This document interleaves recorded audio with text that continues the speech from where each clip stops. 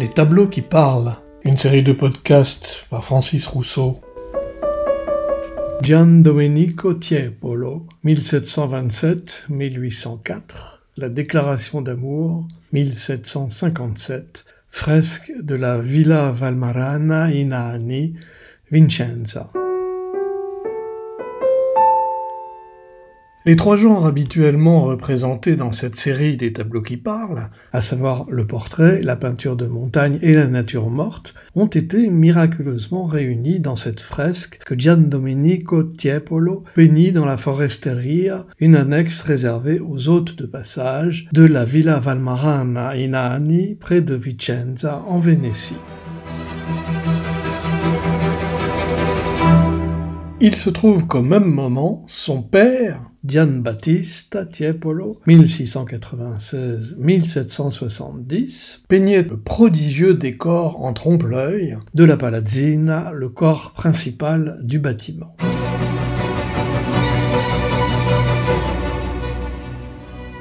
Cette villa reste en effet célèbre pour offrir la possibilité de comparer dans un même lieu à la fois les fresques réalisées par Gian Battista Tiepolo au style très emphatique et celles réalisées par son fils Gian Domenico au style naturaliste et aux éclatantes couleurs pleines de fraîcheur. Dès 1757, leurs travaux conjoints mêlent scènes mythologiques à la grandiose scénographie, exécutée par le père, Gian Battista, comme le célèbre sacrifice d'Iphigénie, des épisodes de l'Odyssée, de l'Énéide, de l'Orlando Furioso, et celle exécutée par le fils Gian Domenico, donc, de chatoyantes chinoiseries aristocratiques évoquant le retour de Chine de Marco Polo, scène de la vie quotidienne du monde des paysans vénitiens, ou scène d'aristocrates en villégiature, comme celle que nous voyons là, et qui évoque immanquablement les comédies de Carlo Goldoni, la Locandiera ou la trilogie de la villégiature, les amours d'Arlequin et de Camille, et autres comédies hilarantes où les personnages finissent toujours par euh, péter plus ou moins un plomb.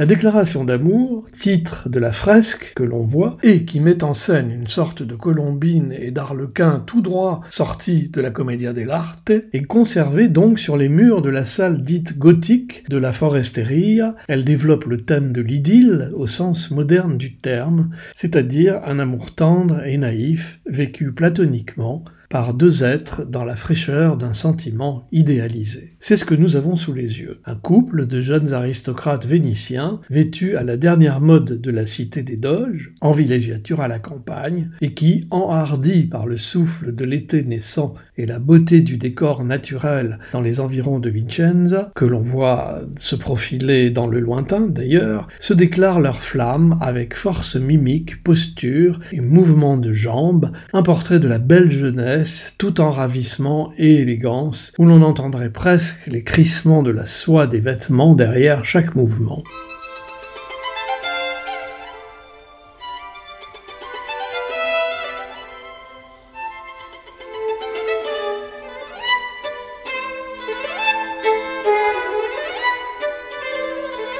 Présenté avec le portrait, il y a donc aussi un paysage, et pas n'importe lequel, celui des montagnes qui entourent Vincenza, le Monte Lungo, 445 mètres, et la Cima Dodici, 2336 mètres. Par un habile effet de perspective, les montagnes, bien que présentées sur deux plans différents, semblent être de même hauteur. Cependant, celle qui est la plus proche de la ville, le Monte Lungo, baigne dans la belle lumière bleutée de la campagne vénitienne, alors que la plus lointaine et recouverte de neige, le peintre suggérant ainsi habilement qu'elle est aussi la plus haute.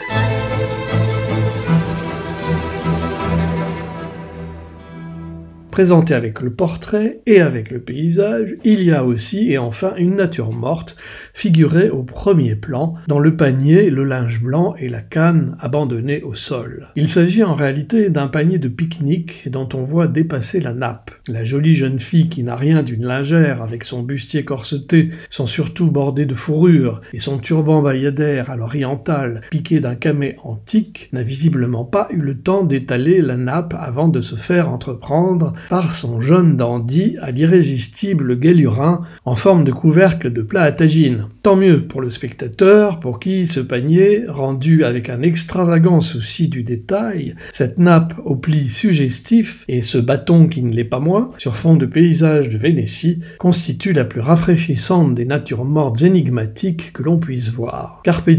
semble-t-elle dire, comme toutes les natures mortes d'ailleurs, mais vite alors.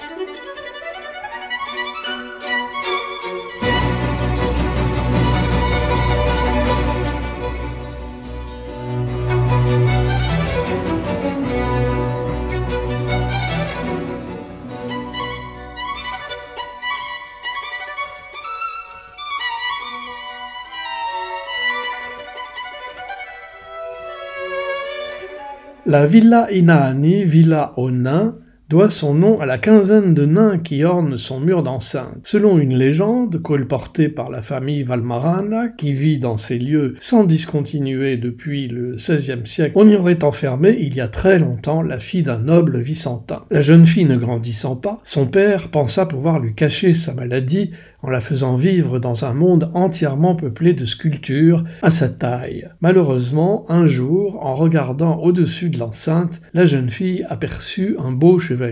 qui éclata d'un rire moqueur en la voyant, lui faisant ainsi cruellement découvrir son infirmité. La jeune fille enjamba alors le rempart et se tua en se jetant dans le vide.